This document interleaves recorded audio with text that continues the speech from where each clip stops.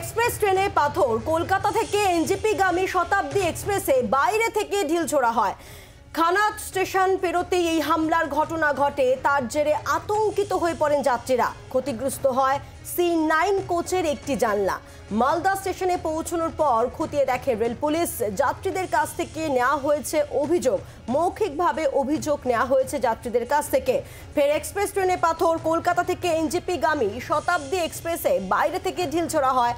খানা স্টেশন পেরোতেই হামলার ঘটনা ঘটে বলেই জানা গিয়েছে। আতঙ্কিত হয়ে পড়েন যাত্রীরা। ক্ষতিগ্রস্ত হয় সি নাইন কোচের একটি জানলা মালদা স্টেশন পৌঁছানোর পর পুরো বিষয়টি খতিয়ে দেখে রেল পুলিশ যাত্রীদের কাছ থেকে মৌখিক অভিযোগও নেওয়া হয়েছে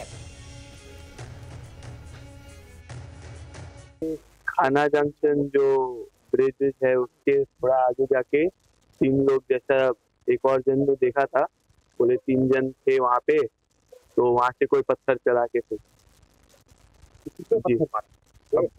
एक एक पत्थर मारा तो ये बाहर वाला तो गिर गया अंदर इधर भी लग के अंदर थोड़ा कांच आया हुआ तो आप कहाँ से कहाँ जा रहे हम कैलकाटा से आ रहे हैं एनजीपी जा हो वो कितना लोगों को आतंक का जी जी वही वही तो देखने वाली बात है ना